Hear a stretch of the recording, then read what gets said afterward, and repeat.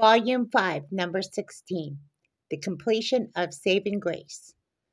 Well, I have completed the book. It's been published, said Grace to Michael. I am so proud of you, Grace. When are you doing your speech? Well, my presentation is to Miller's Agency first, and there's a special dedication, so I want you to be there. It is tonight, so dress in your best suit so you can see what the speech will be all about.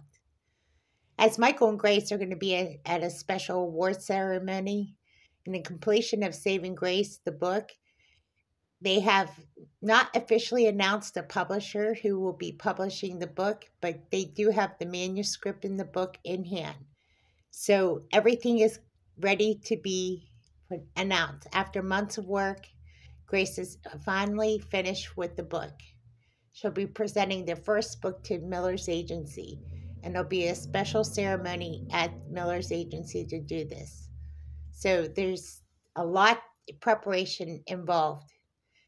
Of course, Miss Yokushoda is going to be in attendance along with mom and dad. The kids will be staying behind with the babysitters. So they have a little things set up for this event as Grace explains to Michael, so that you know the kids will be okay. And they go to talk to the babysitters quickly as they're ready to leave.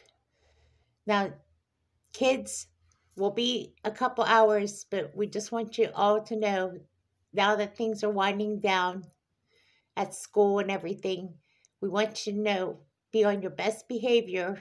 We're going to be gone for a couple hours so that you know if you have any concerns or questions on what's going on, we're going to be presenting the book. Elijah is so excited. Mom, you did it. You accomplished what you said you were going to accomplish.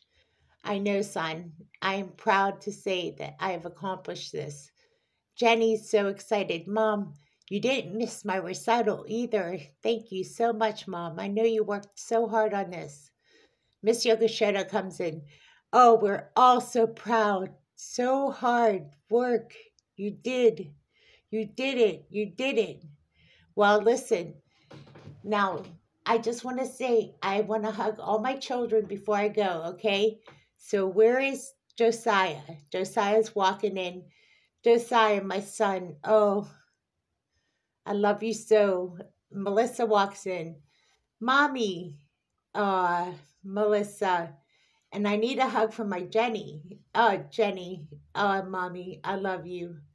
And I need a hug from my Elijah. Oh, Elijah. Keep doing good at baseball, okay, for mom? I know you have a game coming up, so practice and warm up, okay? Keep conditioning. I will, mom. Okay, so be good for the babysitters and the nanny, okay? Okay, mom. We'll go to bed on time this time. Oh, I hope so. now eat your dinner while it's warm and hot. I know you're having your favorite. Grandma made sushi tonight. Yay, said Melissa, as Melissa has a very fond favorite sushi, of course. Yes, Grandma made sushi for you all and rice, so I hope you enjoy your meal. We're going to be heading out, said Dad. We love you. Grandma and Grandpa send their love too. Oh, we're right here. Hold on. We're not leaving. We got to get our hugs from our grandchildren. Aw, that's great, said Michael. As mom and dad hugged Grandma and Grandpa, of course, hugged the kids and were off to leave for the ceremony. This ceremony is full of hearts and warm memories we're going to share a lot of different things, of course, as we're going to go see Marissa, Michelle, and everybody at Miller's agency for this special ceremony. I can't wait. I can't wait for this moment. There's going to be so many unique moments here. So let's head over. As they head over to Miller's agency, which is 10 minutes away, they get in two cars. Miss Yoko Machado drives over with Adrian and Tom as Mike and Grace drive in a separate car. It'll be really nice and relaxing, so we get to relax for the evening. As Jackie's going to be babysitting along with Jessica. It's nice to relax because both Jackie and Jessica are going to stay over tonight. They decided that they wanted to stay over together. It's a lot easier when two girls are staying over in the guest room. That is true, said Michael. As they drove over to Miller's agency, it was going to be a special event because they haven't seen Marissa Estes and Michelle Sparks in a while. And along with Kelly. There's going to be a small group of people here, so just remember it's not a big event, it's just a special ceremony. They were there when it all started, so you know what's going on, said Grace. I'm so excited about this.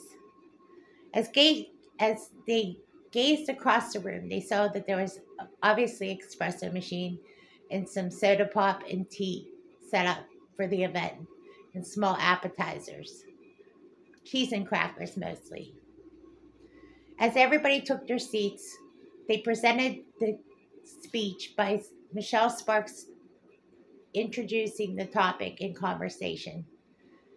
Michelle Sparks is a director at Miller's agency and had this special announcement.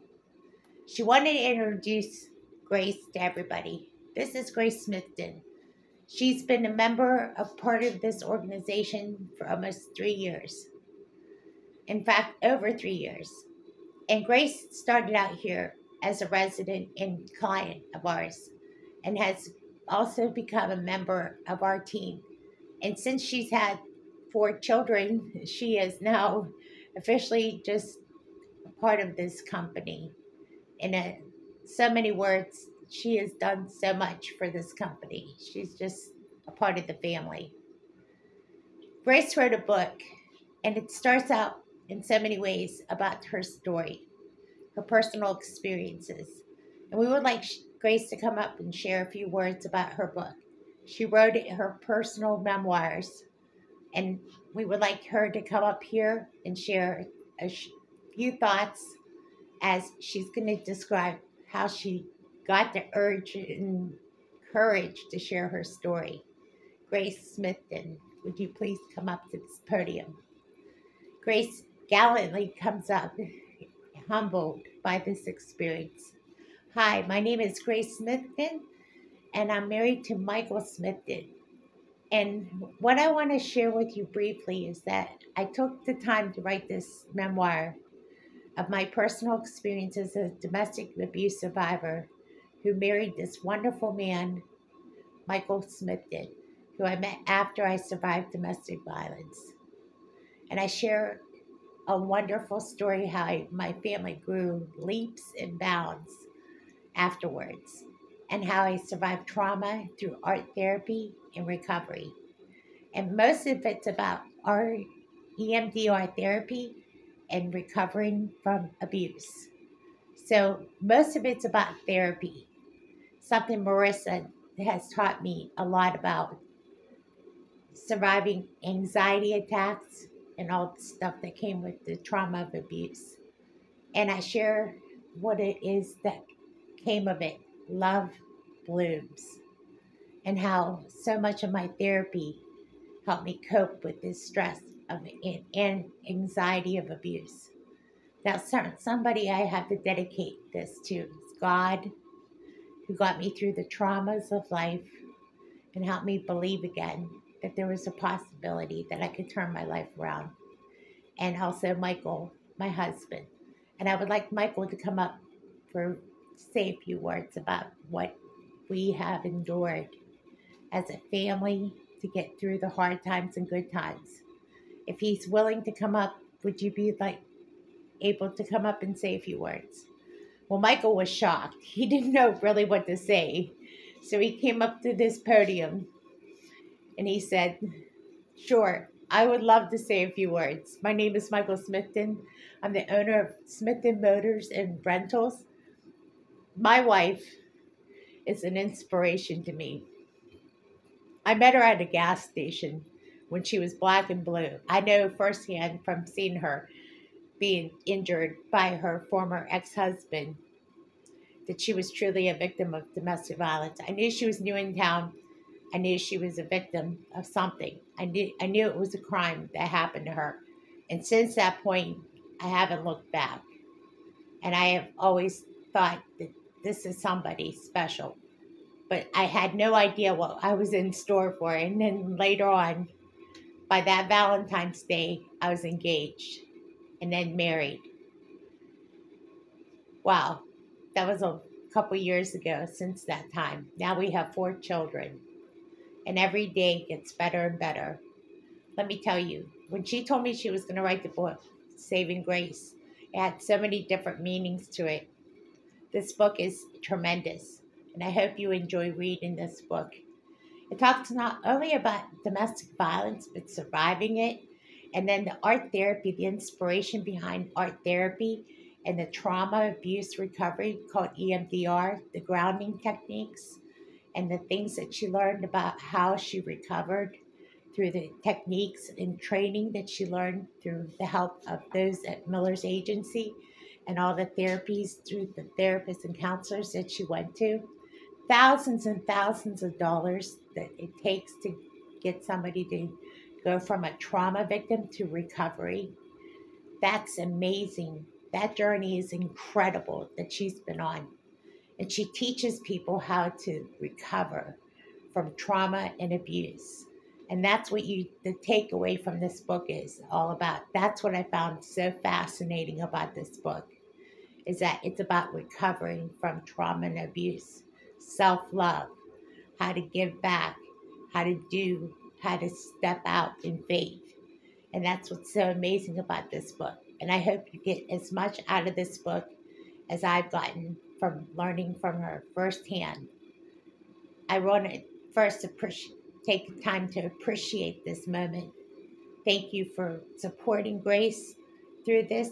Thank you for supporting my family, especially thank you for supporting me through this as well. Thank you, and God bless you. As Michael got stepped down, everybody applauded for Michael because he just spoke so eloquently. Grace was so amazed by Michael's speech. She just saw, this is my husband. Well, by the time the speech was over, Michelle came back to the podium. She just couldn't believe how well Mike spoke of Grace. And they all applauded Michael. Grace, Michael, said Michelle. You two couldn't have said it better ourselves. We love what you've accomplished. And if anybody else has anything to add, Marissa came to the podium She goes, I just want to add that that was so much better said that I don't think I have much more to say than say this. They have accomplished so much in such a short amount of time. I can't wait to hear the sequel of this event. There's got to be a second part to this book. I, I hope so too. So many people were clapping. This was a great event. As everybody was pretty much wrapping up for the evening and getting to their cars, Michael and Grace and mom and dad and Mrs. Yokoshoto were so happy. Miss Yokoshoto said, Oh, this was so special. What a way to end this event than to have a special moment like this and they all saw hearts and all these beautiful things that were around. Just a special event like this is like unlike any event I've ever been to. Thank you, Grace, for inviting me, said Mrs. Yokoshoda. Mom and Dad hugged Grace and Michael. You did both excellent work. This is the best I've seen it. This book is going to be outstanding. Whoever gets this book is going to learn so much I can't wait to read it myself, said Mrs. Yokoshoda as they drove off and got, well, as they drove off from the event, they were talking amongst themselves and got into the driveway. They couldn't stop talking about it as they got into the driveway. Oh, Mrs. Yokoshodo, I'm so happy that you came, said Grace. And Michael said the same thing. He was so happy that everybody attended. This was so worth it. It's so nice to close this chapter of my life. It's on to the next chapter of my life. I have to share more stories, but not this war story anymore. This war story is over. It's on to the next chapter of my life. A new chapter. It's time to turn the page. It's time to talk about something different. Maybe I'll write about something more inspirational, like cherry blossoms or the Japanese tea house or something like that. But the next chapter will be different. There are other stories to tell. I agree, said Mom. There's no time than another story, another chapter in the saga, in this whole sequence, I'm sure, but there's got to be a new, fresh story, like talking about flowers or talking about something that is a little more refreshing. This was a hard book to write. This was one of the hardest things I've ever done in my life. And I think that this time it's going to be more of a light read, something more refreshing, a little less intense. And Michael has said, honey, whatever you write about, if it's light, I'll read it. and Grace agreed. She smiled and laughed. Michael, you're my number one. Have I ever told you how much I've loved you? I think I fell in love with you as I wrote this book, and I realized how lucky I am to have you. I have never loved anybody like this in my life. I've never loved so deeply. I've never realized the depth of my love for you until I started writing. And when I wrote this book, I realized how much you've supported me and you've been there for me. And I want to tell you, and if, if I've never expressed it before, I express my love for you in a way that I have never expressed it. And I am sharing this with you first and foremost. But I love you more than anything in this world, next to the Lord Himself. I love you with everything I have, and that is forever. And Michael loves you the same said mom and dad. Michael said, Grace, I love you more than anything, too. There's nothing that could pull us apart. That's one thing we share a bond. We have we share a heart. Our hearts are joined together, and that's one thing about our wedding bands. Our wedding bands are forever, but that's one thing. That's just a symbol of our love. Our love is forever. Our love is a bond, a commitment and it's meant to be. It's God given. It's a gift. It's a it's a gift of forever.